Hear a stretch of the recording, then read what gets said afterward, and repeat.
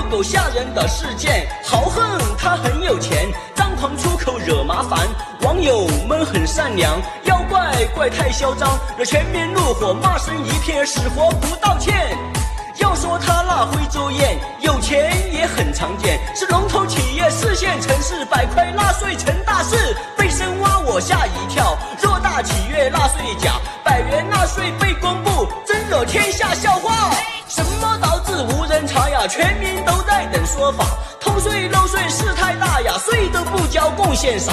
老板娘没王法，嚣张跋扈我最大，有啥事情大不了啊？用卡一挥走天下，人民面前无大事，用钱摆平就没事。背后撑腰，后面有人跋扈一方才是事。悲伤我泪两行，天下人真心伤。我中华儿女吃苦善良，在他身上不发光。我笑你没想到，财大气粗太猖狂，没有想到被条小狗发现你的不良影响。我看这咋发展？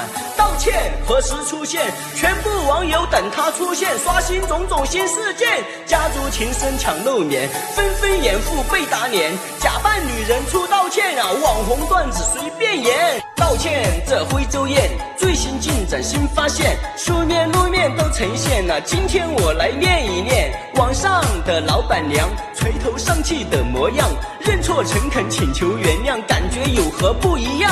认真解读才发现，这人不是老板娘，说话口音、头发、皮肤样子哪里像啊？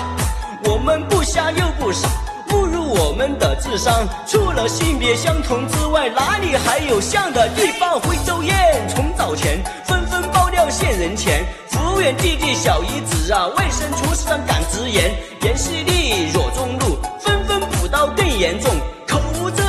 好心啊，让我们发现新大陆。网络主播真有才，为了正义不怕难，集体大喊被威胁呀、低级无趣太。主播更荒唐，台词念词一个样，照课班书照着念啊，一副正义的模样。我们主播争口气，正义大家要传递。广大朋友们看着你呀、内容真实别误事。我们静观咋发展？道歉何时才出现？如今人影没一个呀，发现奇葩新事件，众多网红抢路面，负面消息也不断。我们不是为了啥呀？等判公正的意见。